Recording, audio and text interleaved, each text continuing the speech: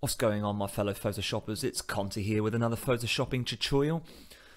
In today's tutorial we are going to have a go at creating a portrait with a paint splatter effect. So Photoshop windows open at the ready please.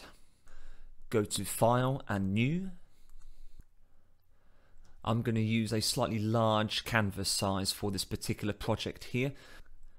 The width will be 2700 pixels and the height will be 1800 pixels. Background content will be white. Click OK. Open up your graduate series image. Go to the Move tool.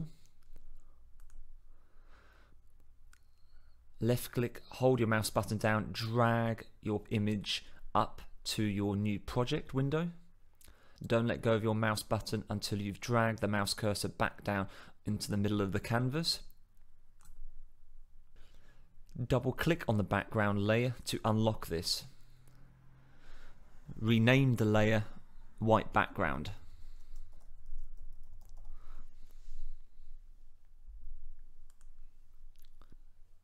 Double click on the name of the layer with the face. Rename this layer face. Press enter when you're done. With the face layer selected, go to create a layer mask. Ensure that the layer mask is selected. Press Ctrl and I on your keyboard to invert. For Mac users, make sure that you use Command instead of Control and Option instead of Alt. Go to create a new layer. Rename this layer Rainbow 1. Go to your gradient tool. From the gradient selections choose Spectrum double click on your gradient thumbnail. Some of the color shades in this particular gradient will be too light to use for our project here. What I'm going to do first of all is double click on the purple. Type in the color code EB00EA. Click OK. Next, double click on the cyan box underneath the actual gradient the color code you want for this particular shade will be 00A7A8.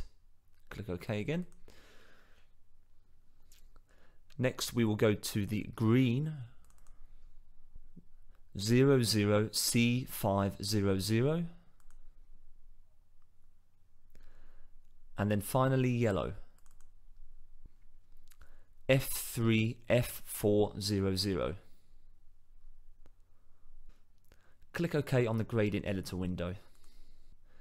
Ensure that your gradient tool is set to linear gradient.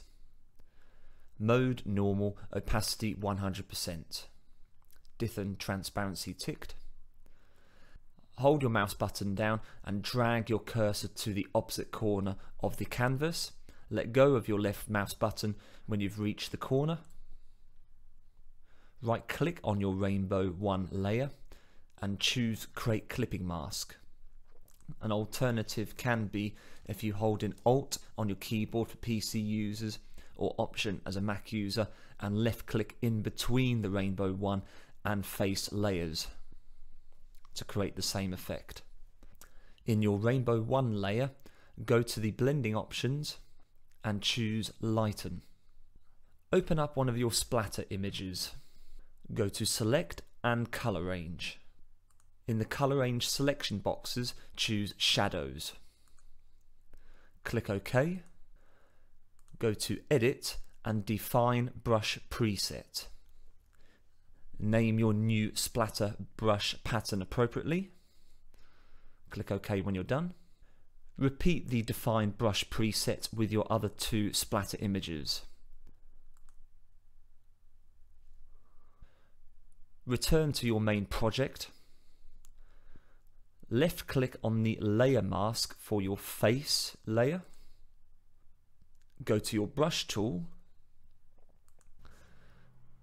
Select the splatter shape you have just saved as a brush. Left click on it. Go to window and open up brush presets. Click on brush. Change the foreground of your brush to white. With your face layer selected, go to Adjustments and Threshold. Change the threshold level to 192 for this particular image. Click OK. Click Brush with your layer mask selected inside your face layer. Left click on the middle of the canvas to reveal the face. Avoid going beyond the eyes and the mouth. Go back to your brush window and alter the way that your brush is in terms of size and position to vary the paint splatter effect on your picture. Don't forget to also select the other paint splatter brushes that you've created also.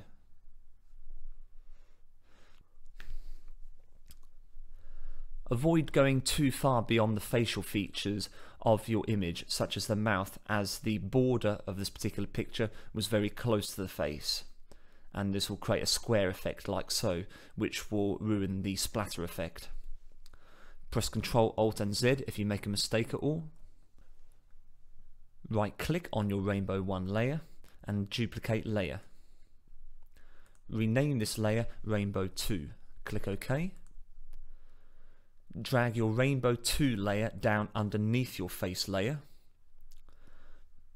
Go to create a new layer drag this underneath Rainbow 2, rename the new layer Splatter, press enter when you're done, switch your colours around now for your brush so that your foreground colour is black and your background colour is white.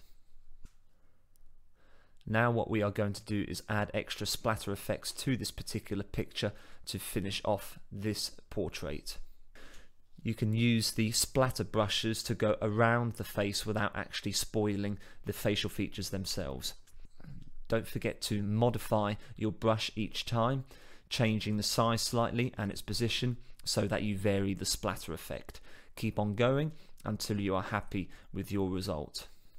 You may choose as well to have some splatter effects a little further away from the face to reveal the other colours from the rainbow ensure that the blending mode for Rainbow 2 is set to lighten and that you create a clipping mask for this also for your splatter layer. This will ensure colour consistency outside of the face. Thank you very much for watching, hope you enjoyed the video. To support this channel please like and subscribe. If you have any ideas about what I should do a Photoshop tutorial of next, please leave your ideas in the comment section below. Join me soon for another Photoshopping tutorial. Enjoy the rest of your day. Take care.